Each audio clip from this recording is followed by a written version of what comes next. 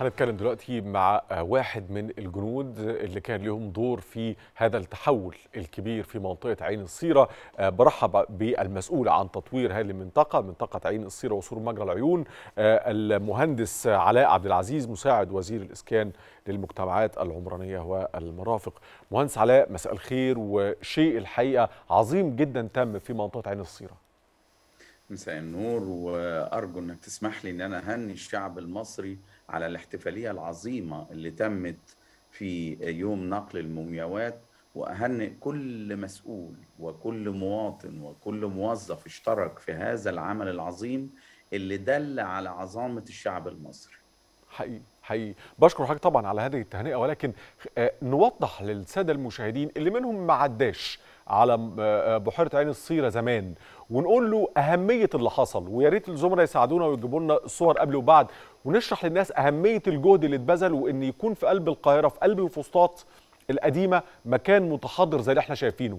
قبل وبعد اللي تحت ده كان graphics قبل ما يتم لكن الصورة الحقيقية مبهرة.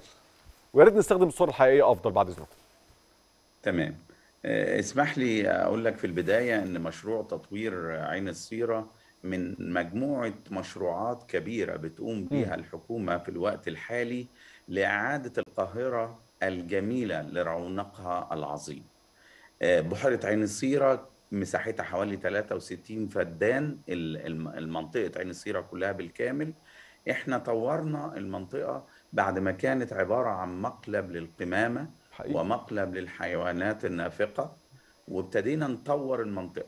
اولا العين البحيرة في حدود 23 فدان م. ابتدينا بنقل البيوت اللي كانت موجودة هناك والأسر اللي موجودة هناك كانت حوالي 65 أسرة تم نقلهم إلى حي الأسمرات في مكان راقي يرتقي بوجود أهالينا في هذا المكان مكان يحتوي على خدمات ومرافق عامة وهو حي الأسمرات بعد كده تمت عملية الإزالة للبيوت اللي كانت موجودة داخل بحيرة عين الصيرة وتكريك البحيرة ورفع المخلفات ونقلها للمقالب العمومية. م. والتي أصبحت بعد كده بالشكل اللي حضرتك شايفه إحنا في حوالي 13 فدان مناطق خضراء ومتنزهات في ممشى سياحي جميل جدا بطول حوالي 2 2.5 كيلو متر.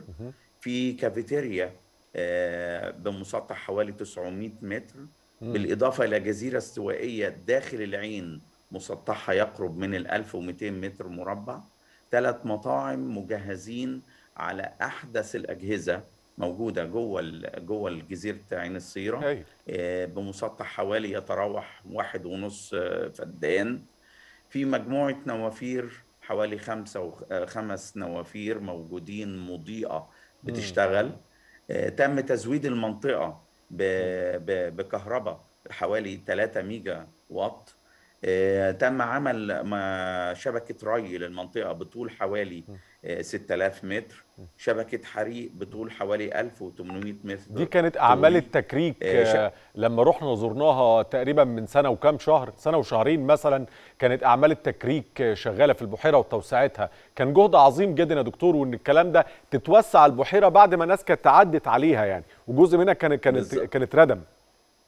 بالظبط يا فندم لأن كانت فيها بيوت منشأة حوالين العين وكانوا بيرموا مخلفات الصرف الصحي حقيقي. داخل العين. إحنا حاليا بنعمل compact unit لتحلية وتطوير المية عشان آه. تظل رائحتها هي المفروض مية كبريتية. صح يا دكتور؟ هي مية.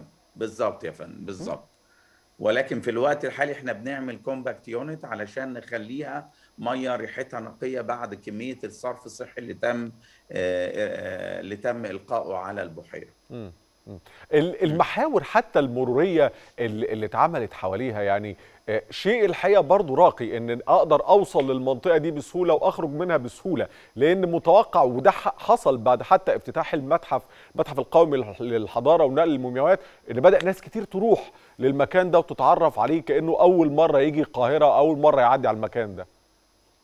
تطوير المحاور اللي تم حوالين عين السيرة وحوالين متحف الحضارة خلى.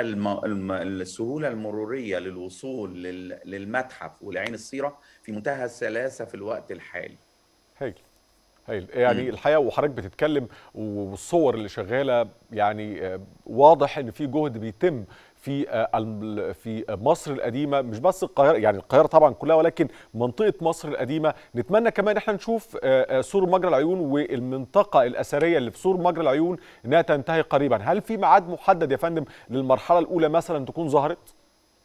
مجرى العيون يا فندم آه، إحنا إن شاء الله بدون مقاطعة 30 6 هيكون منتهيين من كافة الـ skeleton structure اللي بيتنفذ هناك إحنا بتنفذ هناك حوالي 79 عمارة سكنية ارتفاعاتهم بتتراوح ما بين آه، أرضي وست أدوار وأرضي وأربع أدوار وأرضي وخمس أدوار وأرضي وثلاث أدوار.